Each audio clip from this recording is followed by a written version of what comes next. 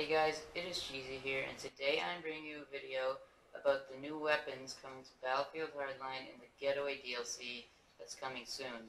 It's like the, it's probably like the other DLC that we've seen so far, and it's come to CTE, so I have full access to it now, and I'm going to be bringing you guys tons of videos about it, so stay tuned. Um, first, so in terms of the new weapons, we have the SAR-21 up first. It is a assault rifle that I believe is available to um, both cops and criminals. It has low damage, good accuracy, good range, but poor control.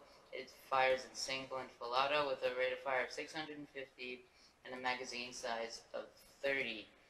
Um, the next weapon we have is an SMG available for all classes in the MP5SD.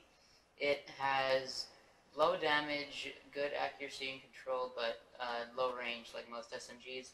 It, fire, it has all three fire modes, single, double, and full auto, and has a magazine size of 30, which is pretty high for SMGs. Next up we have a shotgun available for all classes. It has high damage but low everything else. It has pretty good control, I guess, for a shotgun. Um, it's a lever action, like the Mare's Leg in Battlefield 4, and has a magazine size of 7. Next up, we have a sniper rifle that's available for all classes in the um, in the AWS. Uh, it looks like a very good uh, sniper uh, sniper rifle stats wise. It has full damage, full accuracy, decent range, but pretty low control.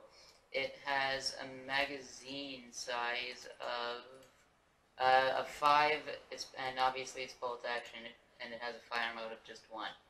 So for the SMGs, we have the AUG Para.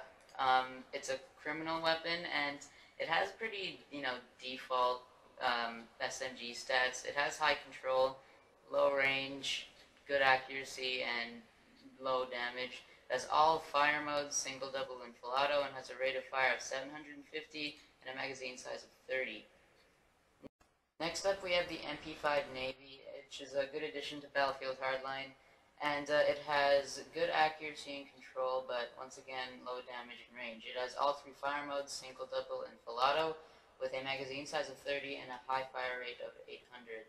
Um, the next is the M12S. It uh, It's an interesting SMG. It has a magazine size of 32, um, a rate of fire of 550, and uh, single and full auto fire modes. And then here's the MP5SD again. So those are all the new weapons. The Enforcer obviously has a shotgun, and the Professional has the AWS.